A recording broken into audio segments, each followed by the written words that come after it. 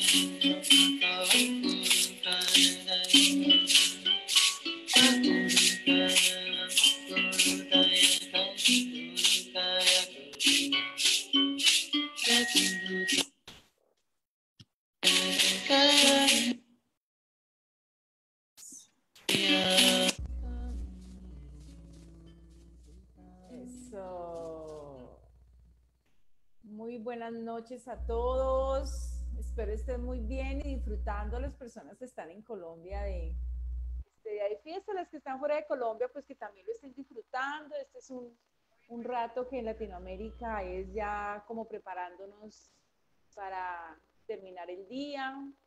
Para los que no me conocen, me llamo Saraí Román Domínguez, coach en sexualidad somática y terapeuta tántrica, fundadora de un proyecto de educación consciente maravilloso eh, en Colombia, tanto en Latinoamérica.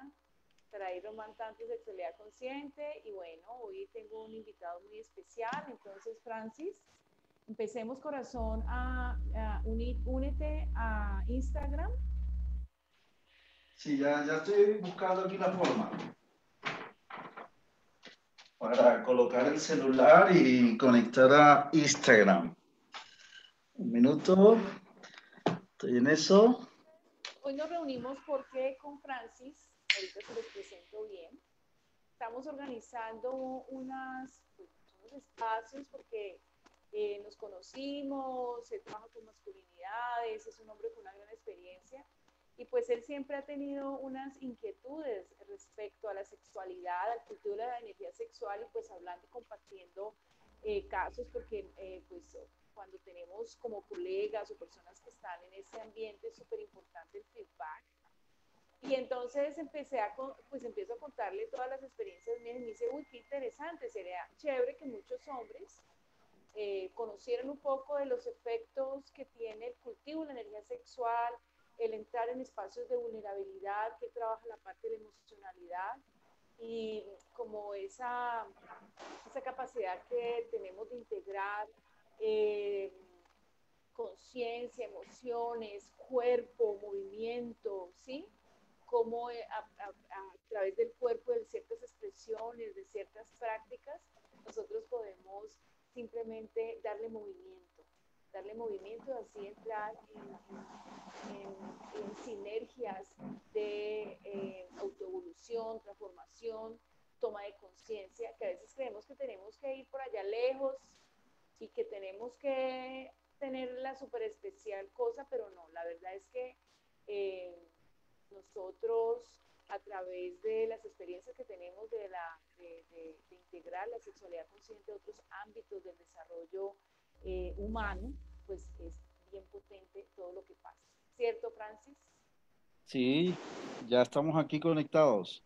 Y casi no tienes volumen. Aumenta el volumen al computador, por favor. Pues sí, ya le aumento aquí, a ver, un minuto. Hacemos incremento acá. Eh, eh, mete más la cosita del...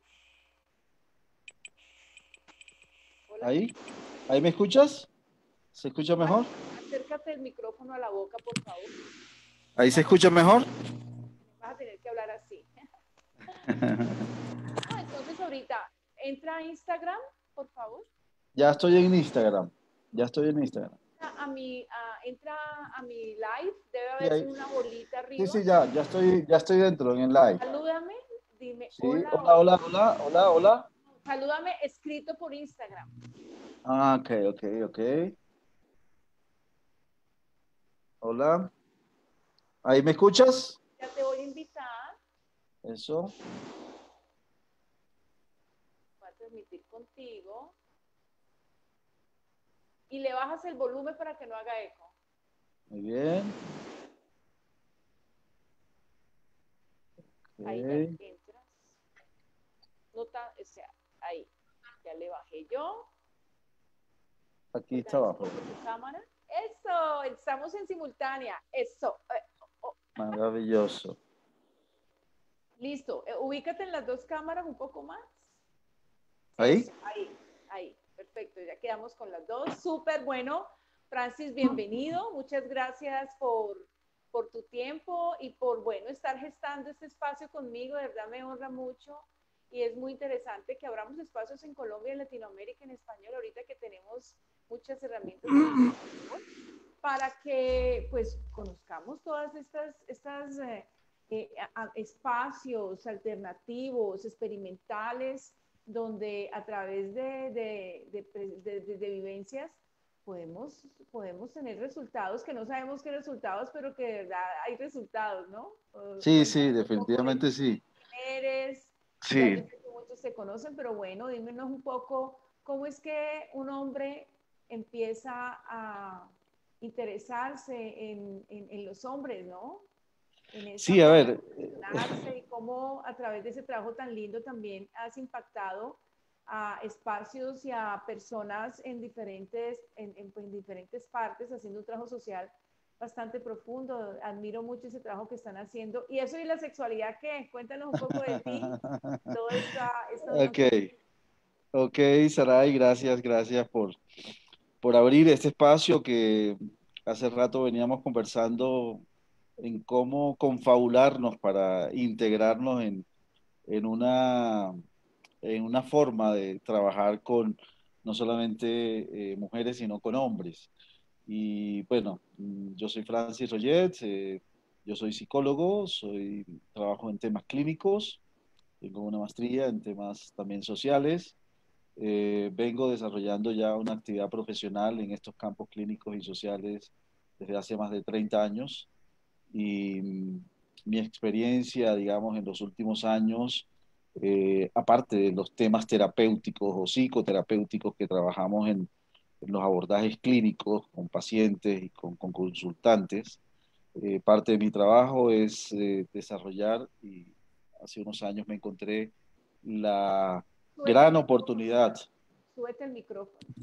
Ok, la gran oportunidad de, de conversar con hombres eh, a raíz de unas inquietudes que teníamos eh, y que tenía yo, justamente estaba viviendo yo en Medellín y, y, empecé a desarrollar un trabajo con un par de amigos en torno a también temas terapéuticos, era un colega y él me dice, bueno, porque tú que has estado trabajando en estos temas, tanto sociales como clínicos, no tienes la, la posibilidad de hacer un trabajo con un par de hombres que ya adultos que eh, yo conozco y invitemos a un grupo de amigos a participar de esto. Y, fue ahí en, en, Santa Elena, eh, ahí cerca de Medellín, donde empecé a hacer trabajo con hombres. Eh, nos reuníamos en torno a círculos de palabra, a círculos de palabra con hombres. y bueno, luego de eso empecé a, hacer contactos, regresé a Bogotá y me encontré la gran oportunidad de eh, incursionar con una experiencia que desarrollaba y entre otras cosas, Saray, tú la conoces muy bien, una mujer que es Laura Moreno. Laura viene desarrollando un trabajo hace muchos años ya con mujeres, en círculos de palabra con, con mujeres. Y gracias a ella y a un grupo de hombres pequeños que estaban en ese entonces como interesados en que también se hicieran círculos de palabra con hombres, porque los hombres que conectaban con, con, Laura decían, bueno, sí, hay círculos de palabra para mujeres, pero ¿qué pasa con, con nosotros los hombres? Y fue así como, eh, gracias a una iniciativa tanto de Laura como de un pequeño grupo de hombres, se empezó a hacer un trabajo con hombres en, en temas de, de círculos, primero, en principio, círculos de palabra, y esos círculos llevaron un poco a, a, que yo me metiera un poco más en esto y conociera posteriormente al colectivo del cual hago parte hoy día. Yo hago parte de un colectivo de hombres que se llama Maneja la Obra. Y mi interés un poco en trabajar con hombres radica en que en este trabajo que hemos hecho y que yo he venido haciendo durante, vuelvo y repito, más de 30 años, eh, en talleres, en experiencias, en cursos y demás, eh, la mayor parte de trabajos cuando tiene que ver con temas del ser, es, los trabajan son mujeres. Eh, nosotros los hombres somos pocos dados a veces a, a, poder incursionar de una manera directa eh, con, con, el tema del ser. Y la pregunta es, ¿qué pasa en la emocionalidad nuestra? ¿Qué pasa en el descubrimiento nuestro frente a, a, esa, a esa vida interna que tenemos? Porque todos la tenemos, tanto mujeres como hombres. Tenemos una vida interna que, que queremos eh, de alguna manera desarrollar y poder eh, compartir con la mujer y compartir con las personas que vivimos. Entonces, se, veía yo que muchos hombres, eh, digamos, no, no, se intimidaban o a veces no querían o no decían nada frente a, su construcción interna. y eran muy pocos los que estaban asistiendo a talleres, a cursos y demás de ahí viene un poco el interés en revisar un poco ese tema de la masculinidad, no solamente en mí, porque un poco eh, quienes trabajamos en estos temas de masculinidad eh, y quienes hacemos parte de colectivos de hombres, eh, definitivamente tenemos que hacer inicialmente un trabajo con nosotros mismos. y si estos hombres que participan de estos colectivos, y, no es que tenemos que ser modelos de hombres, simplemente tenemos que ser hombres pero también identificar qué tipo de hombre somos. Y, y, en esa línea... Eh, el micrófono, corazón. Sí, y en esa línea, eh, te decía, es que empecé a, a, a incursionar un poco con, con, el tema de masculinidades, ¿no? Y me encontré un colectivo que se llama Maneja la Obra, y, yo quería mm, no solamente compartir la palabra, que era un ejercicio interesante, porque en los círculos de palabra de hombres, una de las cosas que hacemos es compartir temas de, de hombres o temas generales, pero que los ligamos a los temas de masculinidad. Eh, uno de ellos es la sexualidad, pero otro es el despertar del hombre, otro es la relación del hombre con, con el hombre o la relación del hombre con el femenino y la mujer. Eh, el tema de la abundancia, el tema de la prosperidad, el tema del trabajo, el tema... Acércate lo que no te escucho, corazón. Sí, te decía que habían varios temas, o hay varios temas que nosotros eh, hemos venido planteando e incursionando en estos círculos de palabras, pero ya en Manes a la obra, y, y la palabra misma de Manes, hombres a la obra, era eh, nos invitaba era a la acción, no solamente a la conversación y al diálogo o la reflexión, sino también a poder irnos a la acción concreta de la transformación del hombre. Porque una de las cosas que hemos visto en esto es que tenemos que eh, trabajar en un despertar de la masculinidad, porque a veces pareciera que estamos despiertos pero tenemos los ojos cerrados o tenemos los ojos abiertos pero estamos dormidos. Entonces, una de las cosas que eh, promovemos en Maneja la Obra es, y parte del trabajo que nosotros hacemos como hombre, es la deconstrucción de la masculinidad hegemónica, esa masculinidad patriarcal, esa masculinidad impositiva. ¿Qué es eso? ¿Qué es eso? ¿Qué es hegemónico? Cuando hablamos de lo hegemónico, estamos hablando, o cuando estamos hablando del hombre hegemónico, el hombre eh, patriarcal, estamos hablando de ese hombre que es impositivo, que es dominante, que eh, es, lo que, exacto, el, típico machista, digamos. Violento. Pongamos, exacto. Y eh, frente a eso, frente a eso, yo debo decirte, ahora que señalas la palabra violento, la masculinidad hegemónica, ese hombre, ese hombre que mm, caracterizamos como eh, y normalmente cuando nosotros hacemos estas caracterizaciones del hombre hegemónico, es un hombre, eh, vuelvo y repito, muy machista, muy dominante, muy eh, impositivo frente a la relación con la mujer, principalmente con la mujer y el femenino, pero también, también es un hombre dominante y impositivo con el hombre mismo, con otros hombres, que no se califican o no se identifican como no hegemónicos. ¿Ya? Entonces, un poco el trabajo que nosotros hacemos es deconstruir eso, porque eh, una de las cosas que nosotros le preguntamos a los hombres cuando empezamos a trabajar con hombres, bueno, ¿y tú por qué eres hombre? ¿No? Es un poco parte del discurso que empezamos a abrir con los hombres, porque una de las cosas que los hombres nos cuentan cuando le preguntamos, bueno, ¿y tú por qué eres hombre? Una de las cosas que nos dicen es, bueno, por mi naturaleza, o porque tengo pene, se miran el pene, o porque tengo bigotes, o porque tengo pelo y pecho. Es decir, siempre se van a la, a la descripción de la naturaleza humana, a la naturaleza del hombre, ¿sí? Pero ser hombre es más que eso. Ser hombre es una construcción social. Y es una construcción social porque nos hemos construido en la familia, en, el, en la escuela, en la universidad, en el trabajo. Como, dador del semen, ¿no? Como esas hembras. Como, dador del semen. De mantener la raza. Total total, total. Eh, sí, de ser el proveedor, del cazador también, o sea, aunque los dos roles son igual, pero pues eh, durante muchos años ese ha sido como el, la, la, imagen cultural y social a nivel mundial prácticamente, a pesar de que ahorita hay muchos países con otras situaciones, pero eso es muy normal. Y cuéntame un poco qué es lo que los hombres, muchas veces las mujeres dicen, no, ellos no sienten, eh, o ellos dicen una cosa y hacen otra, como una, una cantidad de, de, cosas todas contrarias, eh, incapacidades de, de eh, ponerse en lugar de ellas, incapacidad de vulnerabilizar y reconocer que pueden, sí, que, que, que, que tiene un espacio. Cuéntame un poquito cuál es esa, qué es lo que los hombres callan a nivel emocional.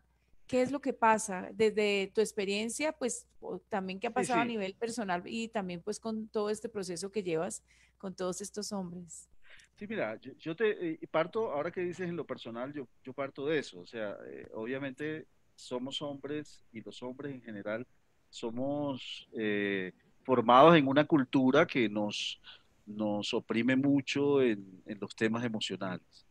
y nos oprime mucho porque casi que la formación que nosotros tenemos desde la crianza de nuestros padres es una formación muy egocéntrico narcisista, es una formación en donde todo se centra en torno al varoncito, pero la mamá se acostumbra a darle, a darle, a darle, pero eh, él no aprende, nosotros no aprendemos a, dar nosotros. Es decir, nosotros aprendemos a recibir y estamos acostumbrados a recibir, pero no a dar. Y en mi experiencia personal yo diría que, bueno, yo desde, desde chico eh, viví una experiencia interesante con mi padre, particularmente porque los hombres eh, buscamos esa, esa asociación y esa identidad con, con el padre. Y cuando lo busca, uno quiere incluso ser como papá. Eh, pero entonces ahí aprendes no solamente cosas buenas, sino también cosas no tan buenas. Eh, y, en esas cosas no tan buenas que se aprenden es justamente a, cosas como esa, que te caes y te dicen, eh, levántese que usted es macho. mire, cuando te vas a casar o cuando te vas a relacionar con una pareja, tú sabes que tú eres el macho de la casa, así que define, define las cosas tú, porque tú eres el hombre. Es decir, ese tipo de expresiones que a veces se convierten en micromachismos, es decir, en expresiones sutiles que a veces están dando un mensaje detrás de eso, eh, nos llevan un poco a, generar una serie de, condiciones internas en nuestras emociones muy particulares. Entonces yo diría, y tú me preguntabas por el tema de, de, cuáles son nuestros miedos, cuáles son nuestros temores. Eh, yo, yo siempre he identificado y, hablo mucho de ello porque creo que son de los más importantes. Eh, hablo de tres temores fundamentales en nosotros los hombres. oigan, oigan, oigan, aquí, tres. Tres, vamos a poner atención a estos tres porque ahí es donde, o sea, muchas veces yo creo que hay muchos más, si me entiendes, pero... Sí, sí, no, evidentemente hay muchos miedos, o sea, de hecho, de hecho quienes trabajan en, en, estos temas sistémicos, en, en, los temas terapéuticos y sistémicos, dicen que eh, eh, nosotros, los seres humanos, tenemos fundamentalmente dos tipos de miedos. El miedo al rechazo, que es un miedo que viene de la madre, y el miedo al fracaso, que es un miedo que viene del padre pero de ahí se desprenden otros miedos. y sí, eh, yo, yo defino tres, tres, miedos importantes. Eh, un primer miedo que identifico en esos temores que nosotros tenemos es el miedo al miedo. El miedo al miedo, el primero. Y el miedo al miedo es porque una de las características de nosotros los hombres, cuando nos formamos y nos vamos formando como hombres, es que eh, la masculinidad es una masculinidad, nuestra masculinidad tiene que ser demostrada y tiene que ser demostrada de una manera muy específica y, eso se ve ejemplificado cuando en la escuela, por ejemplo, en los primeros años del colegio, eh, quieres ir al recreo y quieres ir a la tienda del, recreo, del, colegio o a la, cafetería del, colegio y eh, se apuesta entre los hombres, hay una competencia entre los hombres para el que llegue de último es, eh, es una nena o el que llegue de último es marica ¿sí? El que llegue de último es tal cosa. O sea, siempre haya una alusión al femenino, eh, minimizando y, eso es parte de, nuestra cultura, ¿no? Eh, pero la masculinidad de alguna manera tiene que ser demostrada, es decir, hay que demostrar ser hombre. Eh, y, eso nos lleva al campo de la competitividad también a nosotros los hombres. Además de la testosterona, ¿no? Total, además de la testosterona. y, testosterona eh, a mil. y una de las cosas allí en esto, eh, Saray, es que mm, en, ese tema de la, del, miedo al miedo, es que muchas veces nosotros hacemos cosas o nos reprimimos de hacer cosas o evitamos e, expresarnos de alguna manera. Por ejemplo, y ahora que vamos a tocar el tema de la sexualidad, eh, en el mundo sexual, en el mundo sexual al hombre le da miedo muchas veces eh, decir un no a una pareja cuando no tiene ganas o cuando eh, no tiene el deseo o cuando simplemente no lo quiere hacer por X o Y razón. Eh, nos da miedo decir no. Y, ahí yo conecto este tema de, la, de la, de la, del miedo al miedo eh, lo conecto con un tema también de asertividad. Una de las cosas que yo me he encontrado en los temas terapéuticos eh, cuando eh, trabajo con hombres es que a veces somos poco asertivos. ¿Ya? y la, asertividad y la comunicación asertiva es un elemento fundamental a trabajar en nosotros los hombres, una comunicación asertiva. Además, Francis, yo creo que ese miedo a, a expresar o a o a vulnerabilizarse también hace que se debilite el recibir los no, el rechazo, ¿no? El no. Así es, así es. así es. Como de doble vía. Sí, sí, sí. Y eh, evidentemente eso, eso ocurre en doble vía. Eh, el, sentirse que alguien le rechaza le genera incluso mucha más inseguridad, inseguridad emocional. Sí, los eh, no son tremendos. y además muchas veces esos no se dicen con acciones y no con palabras y eso es bastante difuso. Sí. Y, eh, y bueno, frente a esto, digamos, eh, a veces no nos damos la oportunidad de sentir ese miedo. Y yo una de las cosas que le digo a los hombres y cuando trabajamos con hombres es, date el derecho a, a, decir, tengo miedo, me asusta esto que estoy viviendo. Y si no lo quieres hacer porque si te sientes asustado o porque te sientes con miedo a enfrentar una situación, por ejemplo, en una conexión sexual, eh, exprésalo. Eh, no va a pasar nada. Eh, simplemente, sí, porque es que hay una concepción muchas veces de que la mujer, la mujer, y, ese también es un mito, yo diría que es un mito, a la mujer hay, hay un mito y una, una estigmatización, de alguna manera. la mujer se dice que está acostumbrada a lidiar y a a gustar más del hombre fuerte, del hombre eh, musculoso, rudo, callado, callado pero que, que, que, le, le, que, le, demuestre fortaleza, ¿ya? Que le demuestre fortaleza. Entonces, el miedo es una expresión de debilidad también, que le resolucione problemas, ¿no? Pero eso es algo también biológico, es impresionante. Total, total. Y, y, una cosa importante, Isaray, es que para, para a veces las mujeres es importante sentirse con un, y, y, a veces lo dicen, es que yo quiero estar con un macho, ¿ya? Con un hombre. Y, esa, esa expresión eh, de por sí es una expresión condicionante para el hombre para nosotros los hombres. Entonces, eh, muchas veces es sentirnos que tenemos que demostrar eso que ustedes, las mujeres, están esperando. Y es a ese hombre fuerte y a ese hombre. Mientras que el miedo refleja una debilidad. El miedo refleja una debilidad que no estamos dispuestos a asumir. Por eso a veces nos damos a la tarea de, de no enfrentar el miedo, sino quedarnos eh, como replegarnos frente a ese miedo y evitar la expresión de esa masculinidad. Lo segundo que yo identifico como otro de los miedos es el miedo a quedar afectivamente solo. Eh, ese es otro de nuestros Por eso, pero además el cerebro del humano está hecho para amar a dos personas, o sea, podemos amar dos personas al mismo tiempo hasta tres, ¿sí? Más el hombre porque él está biológicamente capacitado para preñar más de una mujer, pues en el día, incluso, ¿sí? Eso por eso nos hemos, por esa pequeña cosita es que nos hemos multiplicado tan ah, eficientemente. Háblame de eso, háblame de eso, ¿cómo así? pues claro, corazón, resulta que como aquí la, nosotros no siempre hemos sido tan fuertes como ahora, la raza, la humanidad, ¿sí? Nuestra genética, todo, la exposición a todos los cambios en, todos los sentidos, pues obviamente nos moríamos mucho y, y eso desarrolló, o sea, la misma conservación de la misma inteligencia de la naturaleza infinita, pues hizo esta capacidad de que el hombre eh, preñara varias, porque necesitaban era multiplicarse de verdad para poder eh, subsistir. Entonces, eso a nivel biológico eh, entra una tendencia a que esa pulsión natural de atraerse, de sentir de sentir que encaja eh, para preñar a otras hembras, porque ese es el impulso básico, ¿no?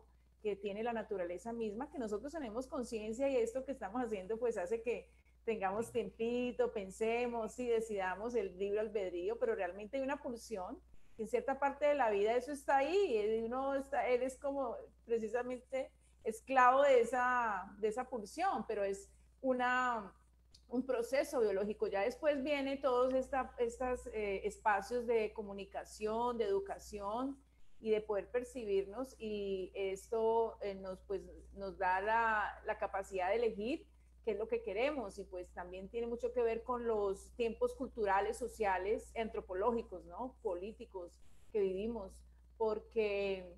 Eh, pues realmente ahorita tener varias es costoso, las condiciones no se dan, pero antes era normal. ¿sí? Durante millones de años fue normal y esto no se veía, ¿no? Y antes se veía como bueno porque era un, estaba cumpliendo con su labor de proliferación en la tierra como Dios manda, ¿no? Algo también muy religioso. Entonces, eh, eso también cambia, ¿no? Porque ya el rol y los roles a nivel sexual han cambiado mucho. Antes, listo, preñaba y cumplió. Ahorita no, me eh, comunicaste placer, sentiste, comentaste qué te gustó, qué te disgustó, qué esperas, ¿no? Entonces, eh, ¿cómo lo haces? ¿De qué forma? ¿Listo? Sí, entonces ya es mucho más de una, una conciencia y una decisión y un autoconocimiento, pues de esa neurobiología y también de la relación de la neurobiología con nuestra energía vital y con la capacidad de reconocerse esa genuinidad y ese ser, lo que el, el ser, el ser humano, ¿no? El ser Dios. Ok, ok. Sí, es cierto eso. Yo, yo, yo cuando te hablaba de este tema del miedo a estar afectivamente solo, que es otro de los miedos que nosotros tenemos, eh, me estaba refiriendo básicamente a, eso que le hemos llamado el síndrome de la soledad eh, regresiva del varón, eh, que aparece en situaciones normalmente de estrés, de tensión emocional, de acontecimientos vitales, por ejemplo, el que cajón Vacío, el famoso cajón vacío. Exactamente. Sí, sí. esas, sobre todo cuando, cuando hay pérdidas afectivas, como la, la separación, el rompimiento de un noviazgo, de una, o la viudez, incluso en el hombre adulto, el hombre bastante adulto. Sí, el quiebra. E, en ese momento aparece ese miedo, e, ese síndrome que nosotros llamamos síndrome de soledad regresiva, eh, porque de una u otra manera, Saray, la deprivación afectiva en el varón es devastadora para nosotros y es responsable directa de todo tipo de miedos, de todo tipo de inseguridades, incluso de caídas en depresiones. y, eso es, y eso que parece que no, porque siempre la, la idea que hay es que no, eso en, en, poquito tiempo lo supera. Biológicamente, químicamente el hombre puede limpiar esa información eh, del enamoramiento y el apego supuestamente en un mes pero yo estoy de acuerdo, eso es un eso no biológicamente sí, pero hay mucho más allá de cómo afecta esta separación afectiva o estas situaciones de quiebra emocional. Sí, mira, en, psicología nosotros hablamos de eh, cuando se produce algún tipo de, de, afección emocional o de afección psicoemocional en un individuo, en una persona, independientemente que sea hombre o mujer, nosotros hablamos de dos condiciones básicas ahí hay unos predisponentes y hay unos desencadenantes de, las afecciones emocionales. Eh, los predisponentes son condiciones que nosotros traemos en nuestro aparato eh, estructural, en nuestro ADN. sí, y eso es heredado. Es decir, yo puedo ser, por ejemplo, eh, tener una tendencia a la depresión o a la histeria o a la obsesión o a la compulsión o a cualquiera de estos trastornos, mm, eh, eh, crisis neuróticas o psicóticas, puede, puede haber un antecedente, un predisponente. Ah, ese predisponente no se desarrolla así si no hay un activante de ese predisponente, es decir, como una llamita que enciende ese predisponente, ¿ya? Y un predisponente en, en nosotros los hombres, por ejemplo, puede ser una separación. Eso también puede ocurrir en las mujeres, pero digamos que eh, me he topado con casos de hombres que han terminado una relación, por ejemplo, y eh, al quedar una relación en donde amaban, ¿no? Y, y, aquí hay que definir qué es amor, ¿no? También, pero digamos, no vamos a entrar en esa materia ahora. Pero los, lo que sí es importante es describir un poco qué pasa. Cuando eh, la pérdida se da, una pérdida afectiva, emocional en un hombre, muchas veces se generan miedos e inseguridades, pero también se pueden activar, eh, digamos, mm, condiciones eh, eh, de, tipo neurótico o psicótico. pueden suceder esos casos. Es decir, hay un antecedente, hay un predisponente, perdón, y hay un desencadenante. El desencadenante puede ser la separación. el desencadenante puede ser la pérdida, si la pareja murió el desencadenante puede ser, sí, la terminación radical de la relación. Eh, y ahí cae en, una condición, por ejemplo, depresiva, eh, que se desarrolla durante un tiempo, hasta tanto la persona no identifique qué fue lo que eh, le originó esa, esa condición. Entonces, yo creo que el, miedo a estar afectivamente solo es un, una, uno de, esos, de esas deprivaciones afectivas que más nos maltratan a nosotros los hombres. De ahí viene ese, ese común, eh, eh, digamos, mm, esa, esa, común expresión de, de, los amigos de ese hombre que terminó la pareja o que lo terminó la pareja, decirle, tranquilo, eso en dos semanas estamos, yo te voy a presentar unas viejas y, y, bajamos a salir y tal, y, te das cuenta, muchas veces ocurre, eh, ocurre que, que el hombre se va a la rumba y lo invitan a rumba y mira, te voy a presentar una amiga y resulta que aquí hay que hacer todo un trabajo de duelo, de duelo emocional, ¿cierto? Y empezar a entender esa emoción.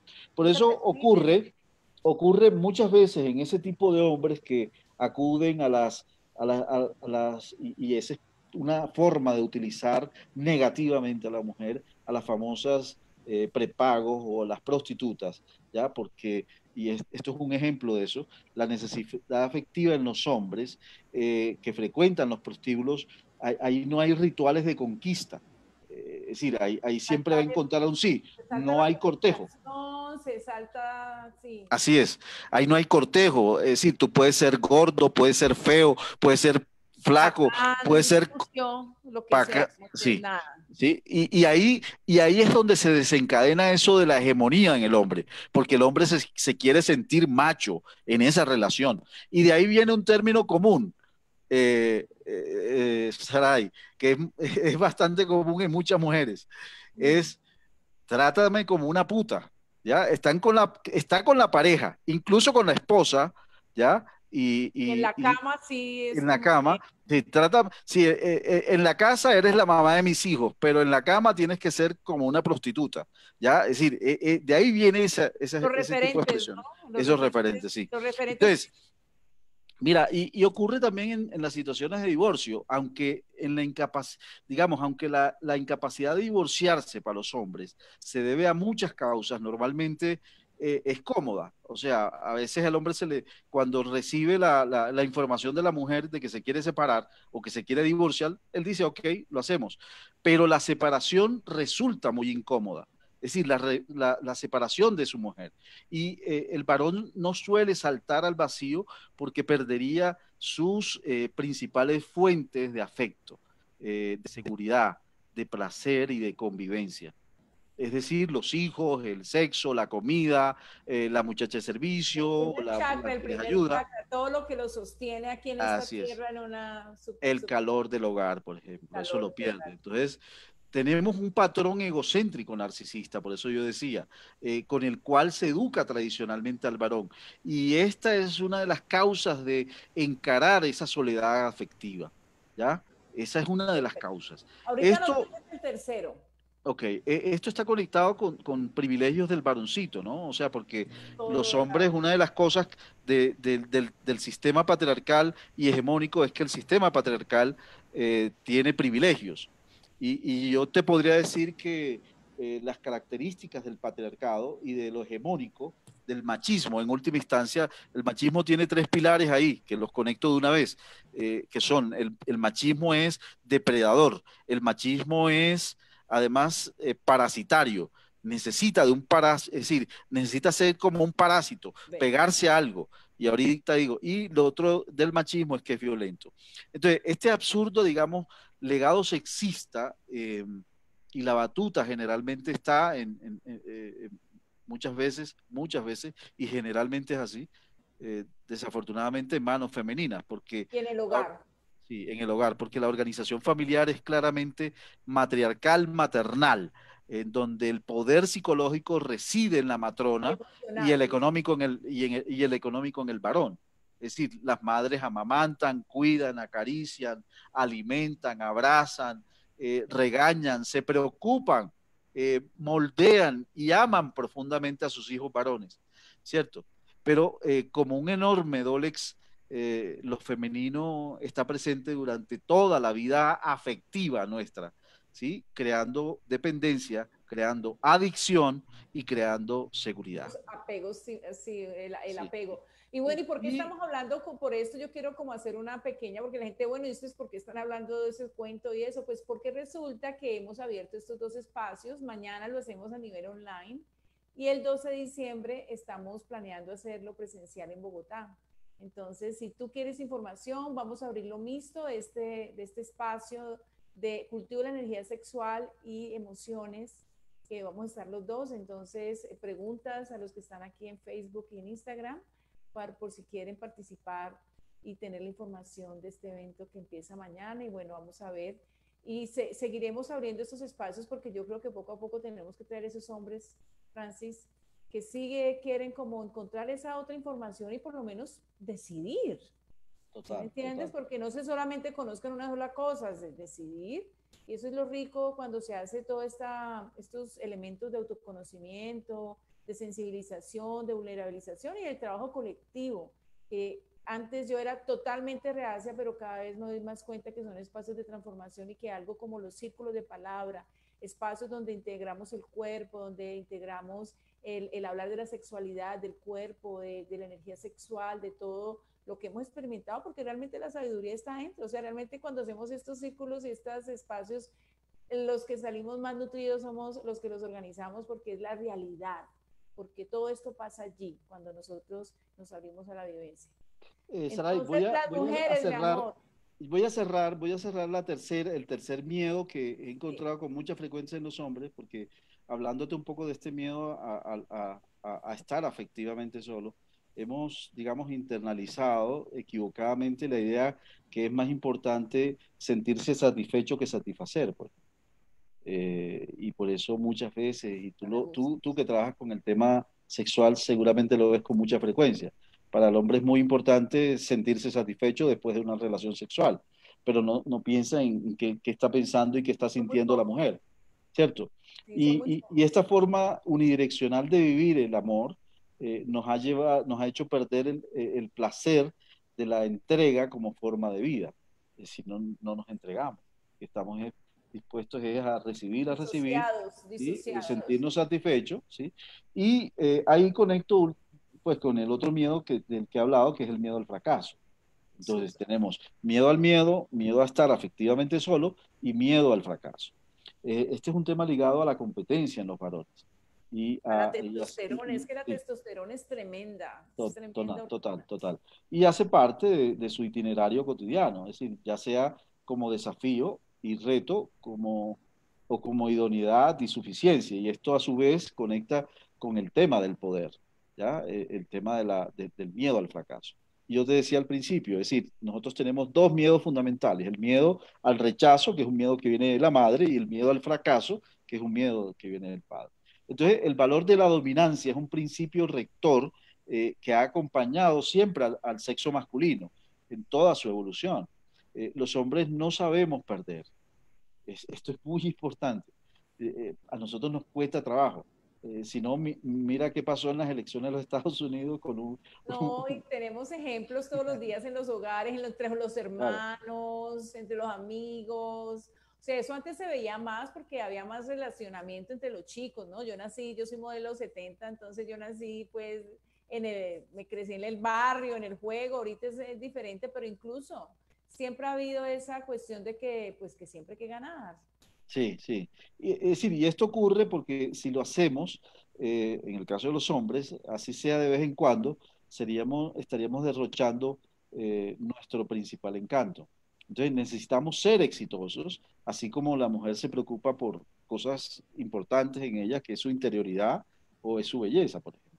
Entonces, en este tema es muy importante entender que eh, hay, hay una especie de, de, de, zona endémica ahí, y, y, y cuando, hablo, cuando hablo de zona endémica me refiero a un conjunto de condiciones psicosociales que, que a nosotros, a nosotros los hombres, nos dificultan eh, el intercambio afectivo eh, con, con, el femenino, con la mujer o con la pareja que tenga. Es muy Entonces, interesante eso que dices, porque eso derrumbaría, porque es que hay, muchas, hay muchos discursos que se repiten y se repiten y obviamente tenemos experiencias A, B, C, D, F, G, ¿sí? O sea, y repetimos patrones sí, otras veces no, y bueno, de toda la variedad de experiencias. Pero conocer realmente lo que pasa en el corazón del hombre, la emocionalidad y la relación con su sexualidad, me parece que es una información muy ganadora y que a mí, por ejemplo, me ha cambiado la forma de relacionarme. Vamos a hacer una, un espacecito por una pregunta. Aquí alguien que dice, eh, los hombres también, me suena preguntar, ¿los hombres también tenemos ciclos? ¿Cuáles? Ok. Eh, nosotros tenemos también ciclos, pero son distintos obviamente al, a los ciclos femeninos. Eh, la mujer tiene su ciclo cada 28 días. Digamos, en el caso del hombre, los ciclos eh, son menos eh, observables desde el punto de vista uh, sí, objetivo, digamos, por decirlo de alguna manera.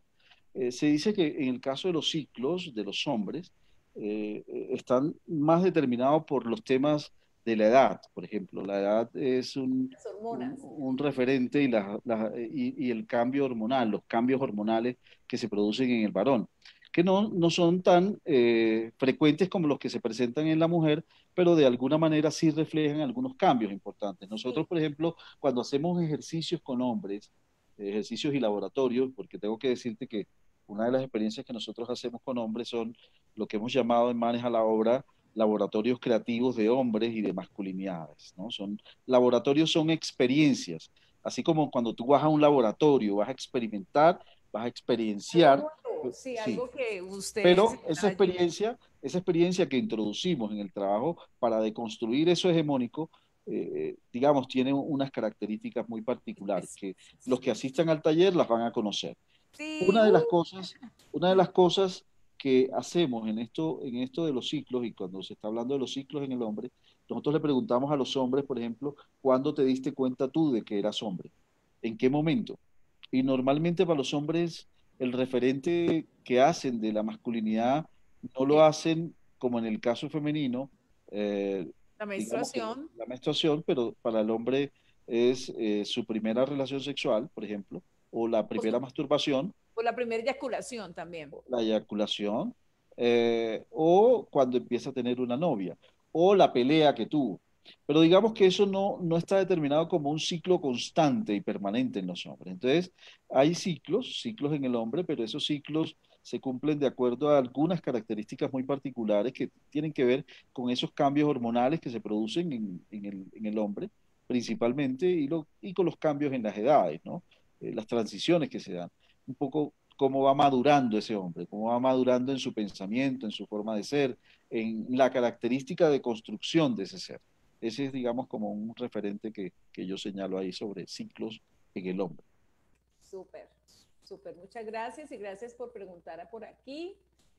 yo te, te, iba a decir algo. Te iba a una mujer que quiera, que creas que esta información le puede servir, que están abiertos a conocer más, pues comparte nuestro link para que eh, pues tengan esta información tan valiosa. Perdón el corazón, cuéntame.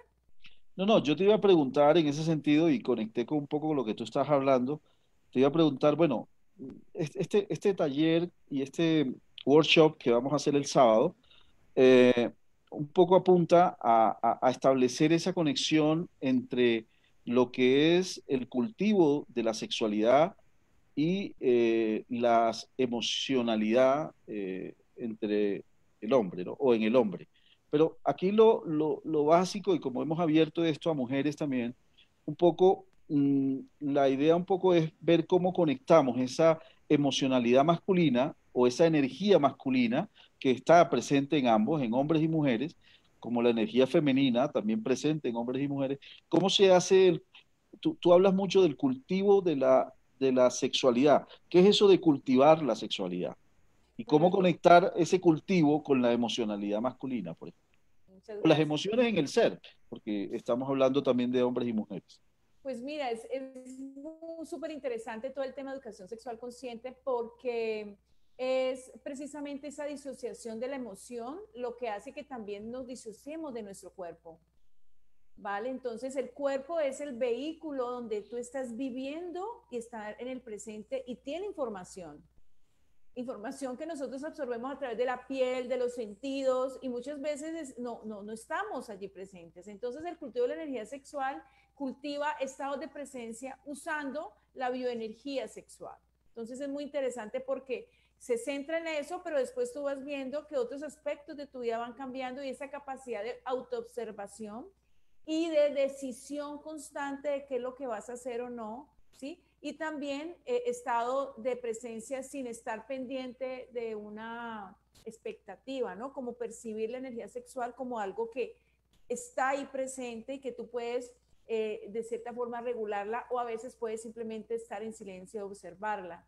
Entonces son otros estados de conciencia a través de la corporalidad y a través de técnicas como el taoísmo, que sabemos que todas estas, estas culturas desarrollaban lo mejor en el culto de energía sexual porque los emperadores tenían que tener 90, 100 hijos y 200 esposas. Entonces ellos sí necesitaban cultivar la energía sexual para tener un semen fuerte, unos niños fuertes que no se enfermaran y poder hacer, eh, ser, y mantener su poder.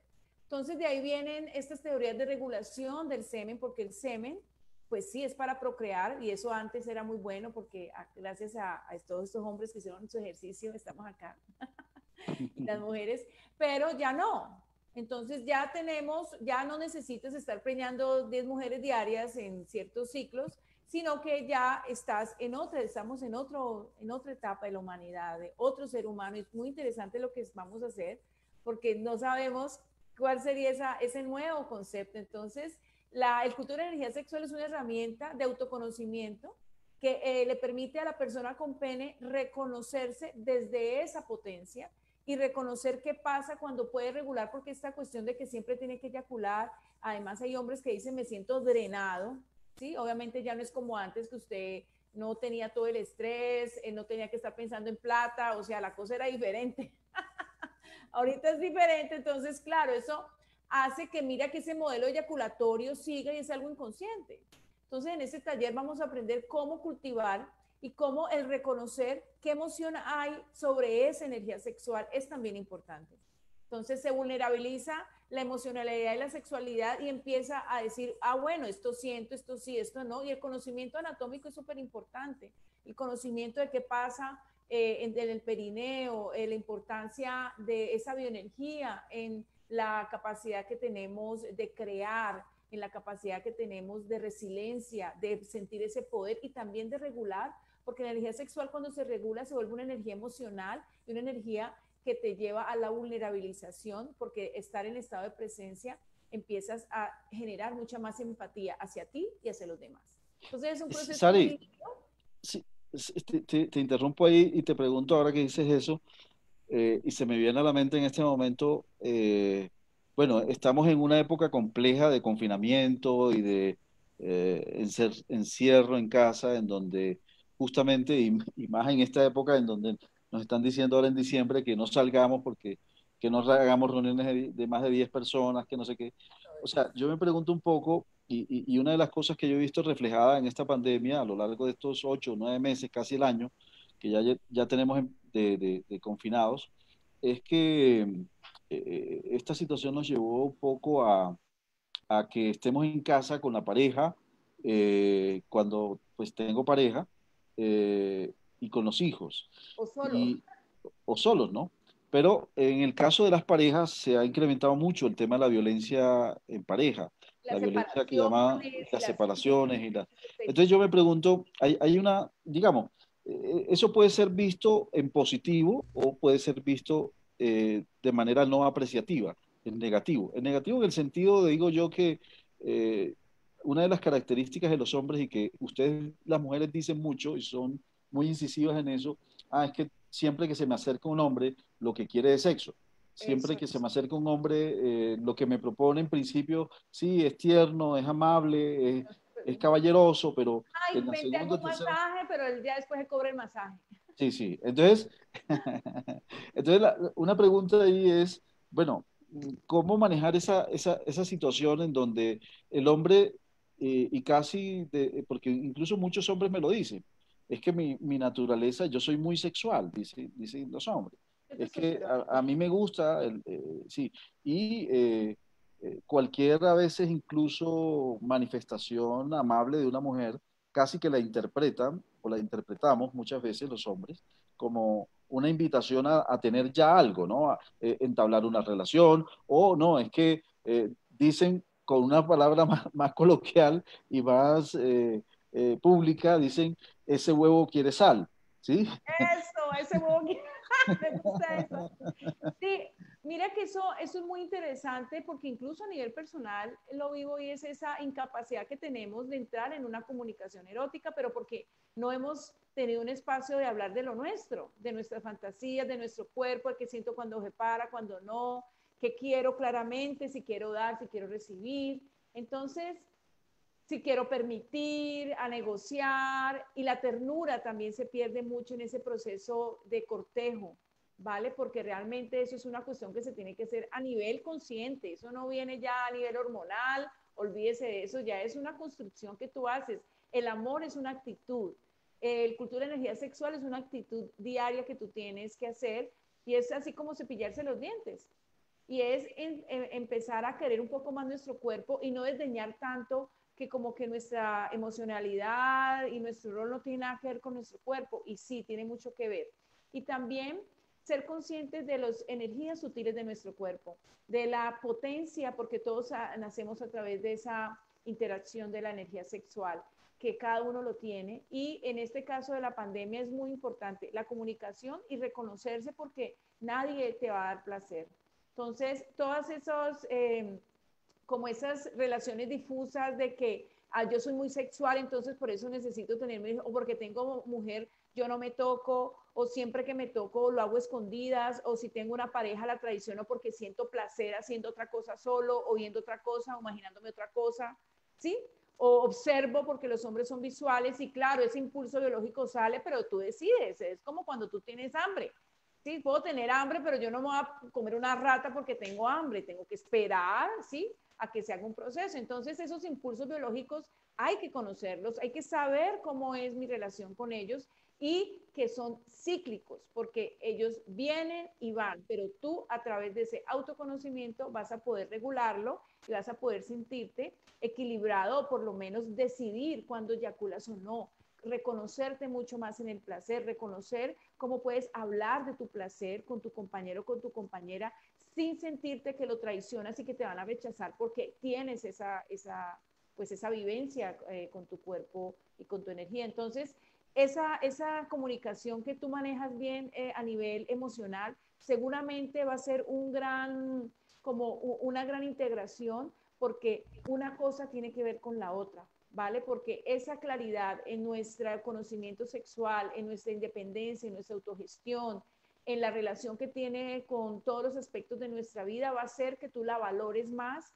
y que puedas de verdad considerarla algo de muchos beneficios, no solamente a nivel de momento de sentir bien, sino a nivel biológico, emocional, a nivel de rejuvenecimiento, de poder, de equilibrio, de tranquilidad, porque cuando no estás en esa ansiedad, seguramente toda esa energía y todos esos eh, hormonas cortisol que empiezan a generar a través de ese estrés y de todas esas situaciones de miedo, porque no solamente eso hace, trabaja a nivel emocional, a nivel hormonal y biológico también, pues entonces va a ser algo que te va a equilibrar mucho más y que lo más rico de todo este camino de autoconocimiento, eh, Francis, es ser genuino, ser yo, ¿sí? Ser lo que uno es.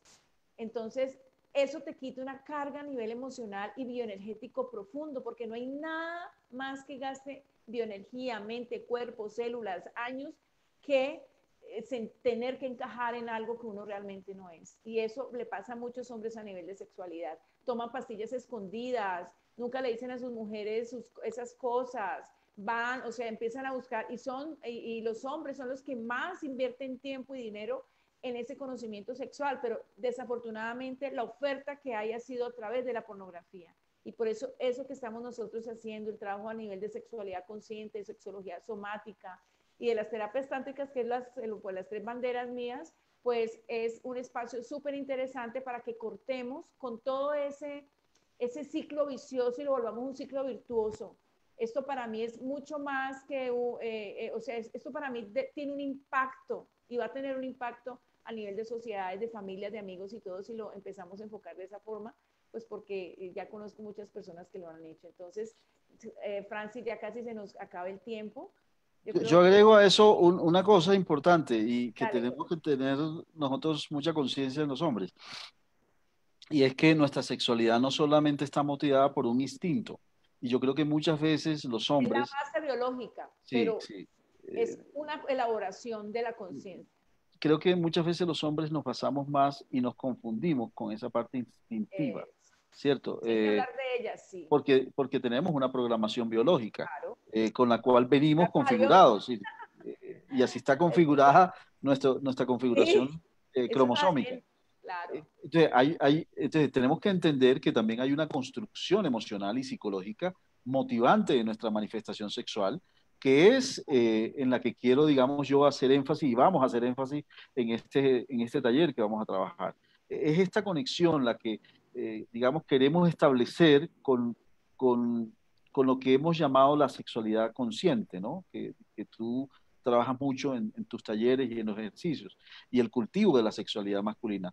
Y esta sexualidad le da lugar eh, o le da un lugar distinto a, a la motivación instintiva.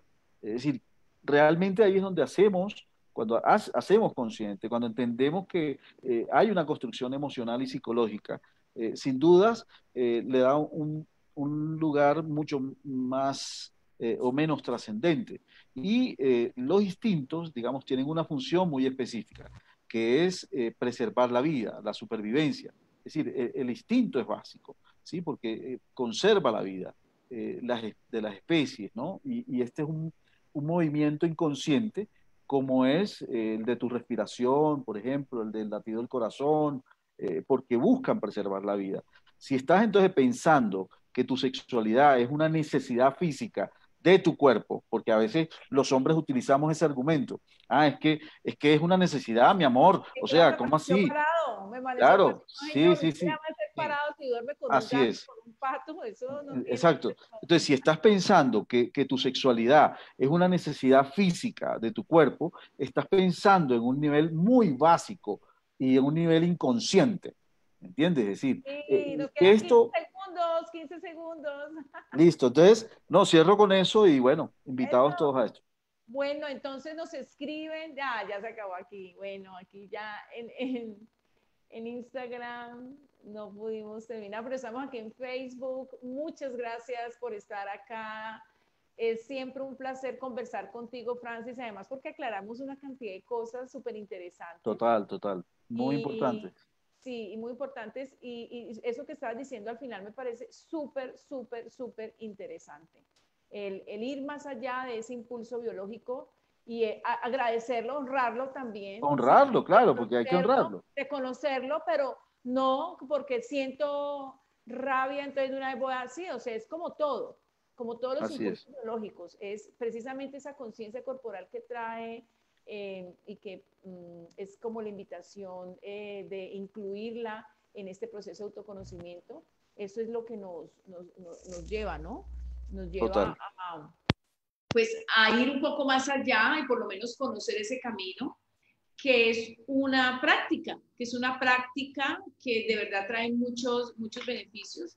Y ahí, Francis, en esa parte de reconocimiento de ese impulso biológico es muy importante la autogestión del placer la autogestión y el autocultivo. Entonces, eh, el hombre casi no es tierno con él, el que se echa mascarilla y cosas, entonces se siente mal, el que se acaricia, los hombres incluso, incluso no se acarician ellos mismos suave. O sea, eh, o sea, es impresionante esa disociación corporal que tienen, incluso de esos que se cuidan y son fitness y son deportistas, en cuanto a esa percepción del placer, están totalmente descorporizados. ¿Sí? Es como si, como si no tuvieran esa, ese contacto nomás en la parte pues genital, que es donde está como su centro de poder, ¿no? Ese, ese lingam.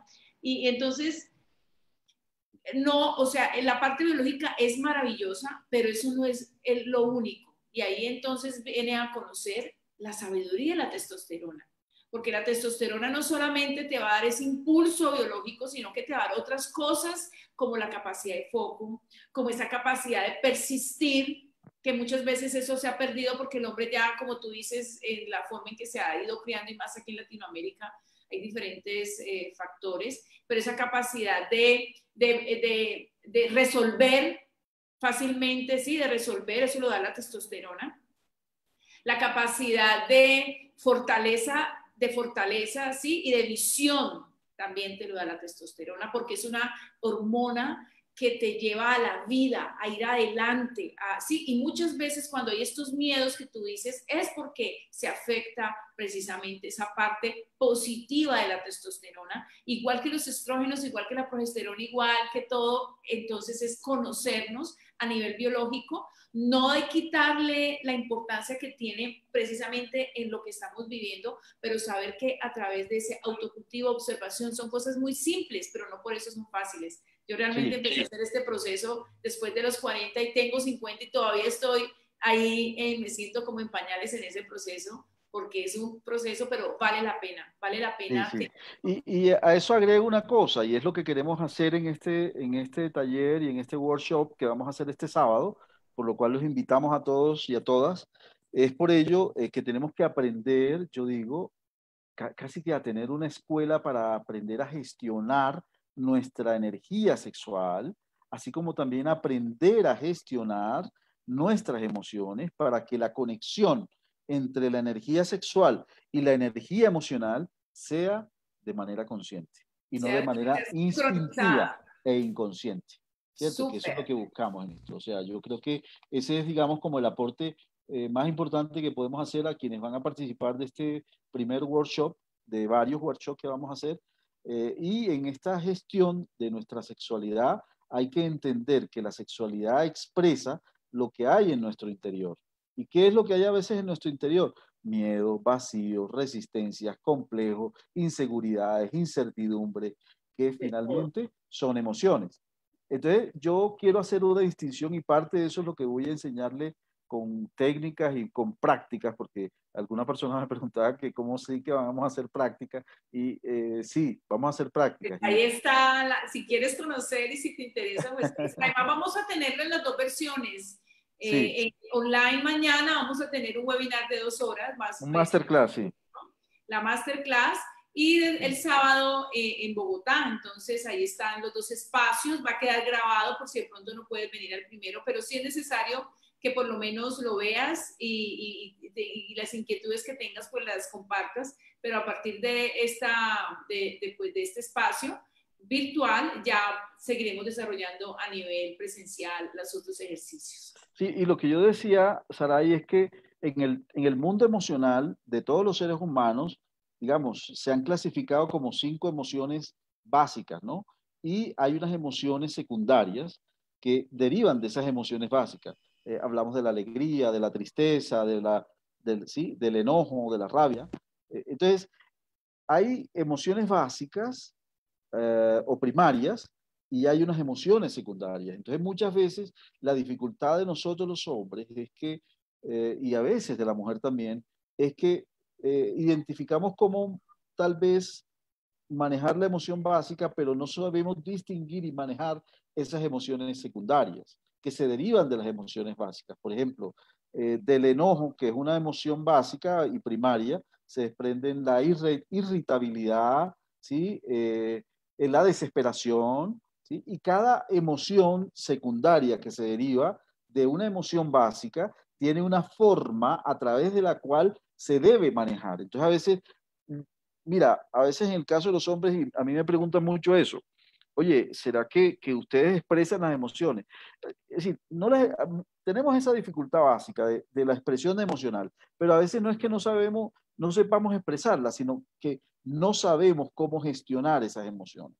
Y ahí tenemos esa dificultad. Por lo tanto, eh, enfrentando esos miedos, yo diría, para cerrar esto, eh, mm, los conflictos sexuales no se resuelven en la cama, sino a través de nuestro mundo psicoemocional.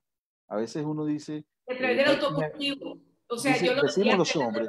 Lo primero que yo le digo, hay que trabajar en ti primero, hay que responsabilizarte. Entonces, desde acá también es como ese trabajo empieza desde adentro, mejor dicho. Así es. Y, y es esa comprensión consciente de este mundo masculino, eh, eh, incluso para también conocimiento de las mujeres, la que nos va a permitir una mejor expresión de, de una sexualidad sana, ¿no? Y digo sana porque hay quienes buscan resolver esos conflictos sexuales a través, por ejemplo, de, y tú lo decías hace un rato, de la pornografía, por ejemplo.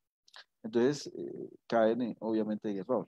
Entonces, bueno, es una invitación para todos a que mañana se conecten el masterclass, que es de dos horas a las seis de la tarde, eh, a través de... Eh, hay un link, ¿cierto? Sí, vamos a hacerlo por Zoom, nos deben de escribir y bueno, y ese va a ser como la introducción de este taller para que pues, se inscriban. y la gente, exacto, eh, tenemos ya algunos inscritos que pueden participar activamente en esto y hacer preguntas y formular inquietudes para que de una u otra manera pues podamos ir eh, atendiendo estas inquietudes que ustedes plantean. Así que bienvenidos y, y nos vemos mañana y el sábado, ¿no?